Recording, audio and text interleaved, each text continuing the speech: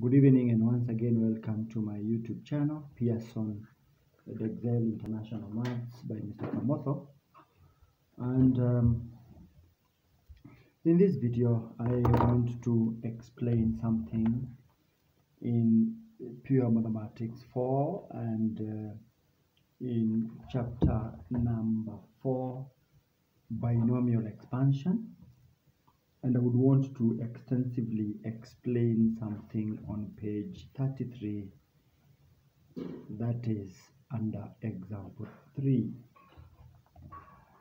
and this question is asking us to find the expansion of this function up to and including the term in x cubed and then part B by substituting then we will proceed uh, before we continue, kindly go to my YouTube channel, subscribe and share widely so that we can work together.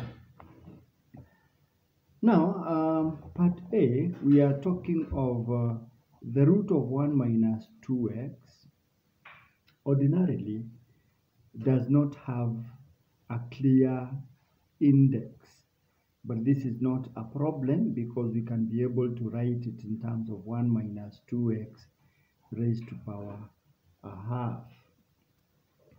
And this one is another way of talking about the root of any number. And therefore, using the expansion of 1 uh, plus nx plus n, uh, n minus 1, x squared over 2 factorial, plus n, n minus 1, n minus 2, x cubed over plus n, n minus 1, n minus 2, x cubed over 3 factorial.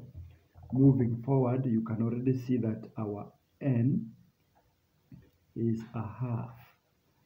And in the place of x, our x, we are going to look at negative 2x. The whole of that is sitting in place of x. So therefore, expansion of this nature is going to be 1 uh, plus a half multiplied by x, which is minus 2x, plus n, which is a half, a half minus 1 then minus 2x which is x squared everything over 2 factorial.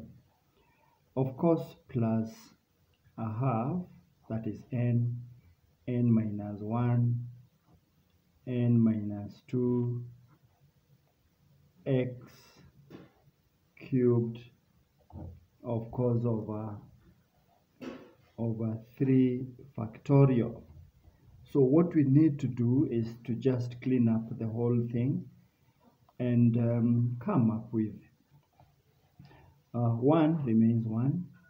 A half times minus 2 is a negative 1, of course minus x.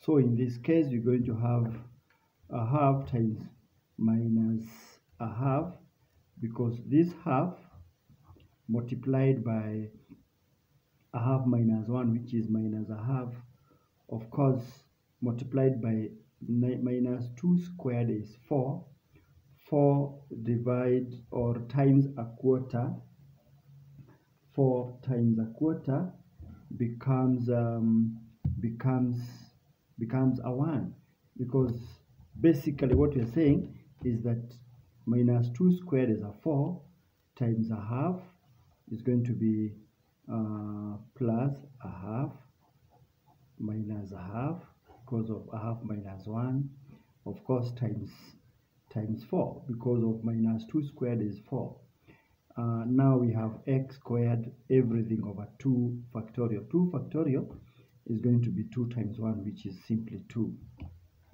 and the other one is going to be uh, let's talk about a half this now term. Uh, multiplied by minus a half because of n minus 1 and a half minus 2 becomes minus 3 over 2 which is minus uh, minus um, uh, minus 1 and a half negative 1 and a half. And of course minus 2 cubed becomes minus 8 and then we have x cubed over 3 factorial meaning 3 times 2 times 1 now what we need to do is to simply um, now clean up this. This is 1 minus x a half times minus a half is minus a quarter times 4 which is minus 1 times x squared becomes minus x squared over 2 and that is the third term and therefore what we have now is the third term which is going to contain x cubed a half times minus a half um, times minus 3 over 2 times 8 let's just do this.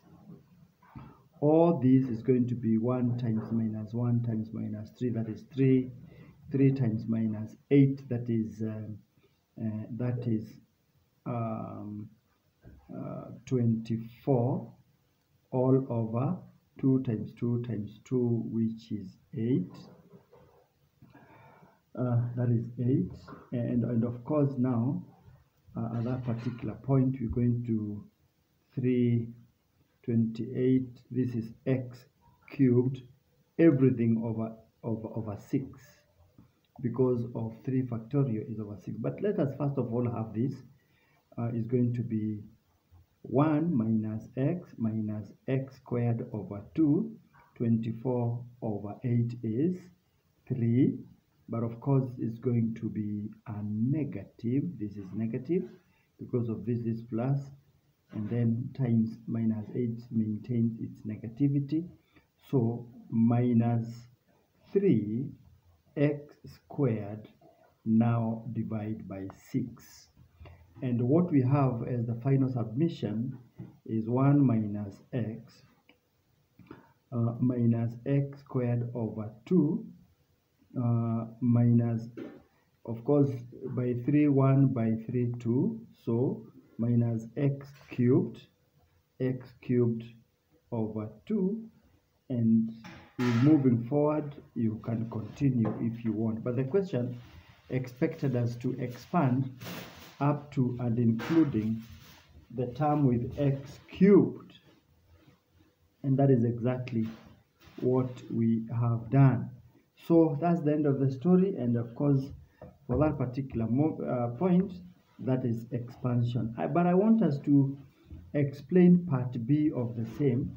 And part b says by substituting in x is equals to 0.01 find a decimal approximation to root 2 substituting x is equal 0.01 find an estimate of find an estimate of root 2 this is something new and I would want to just explain extensively and let's see what happens here that means in the whole expansion, wherever we come across x, we write 0.01. So initially we had the root of 1 minus 2, 0.01, which is equals to, it has been expanded to 1 minus 0.01, this is x, uh, minus 0.01 squared over 2, minus 0.01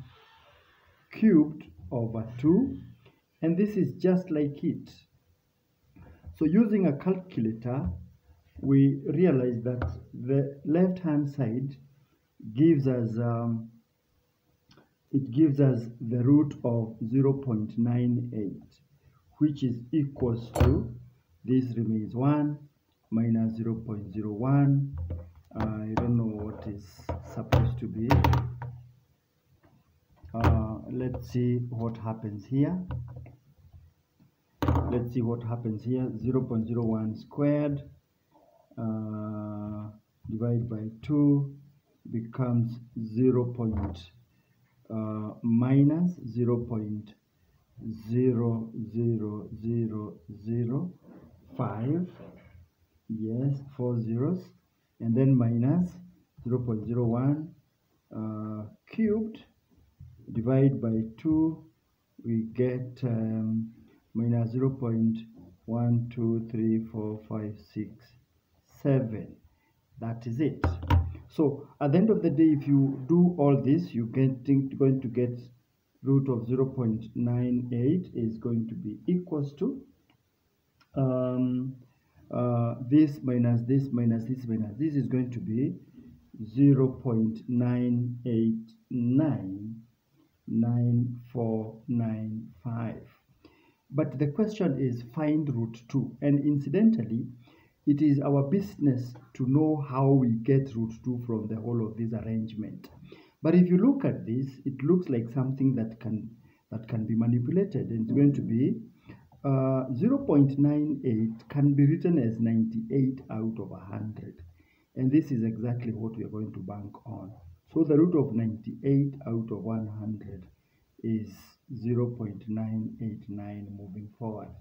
So concentrating on this we have the root of 49 times the root of 2 all over 10 and this is going to be because the root of 100 is 10 the root of 49 times the root of 2 all over 10 because um, the root of 100 is 10 and the root of 49 is 7 is going to be 7 root 2 all over 10 is equals to 0 0.989 uh, 0 0.9899495 Fine, at least now we can make root 2 the subject of the formula. Directly, our root 2 is 0 0.9899495 times 10 all over 7. Let's find out what this is. Um, yes, 0 0.9899 um, uh, 495 495 times 10 of course we get that divided by 7 then we get 1.41 we get 1.4142 of course if you can move forward you'll get uh, you, if you want to write the whole all the digits 42135571 but of course if the question is quite uh, giving you special instructions like to three decimal places or to two significant figures or to wherever, then you can get your answer from there. Fine, that is it. And uh, according to our arrangement, please follow and make sure you understand this. And uh, the key point is how we get now the root 2 from the root of 98, the root of 0.98. And because we have applied the surds this one we have applied surds the knowledge of surds and we have actually borrowed heavily from 98 over 100. So please make sure that you don't lose that focus. That is very critical. All right, again, go to my YouTube channel, subscribe, and let us work together. All right.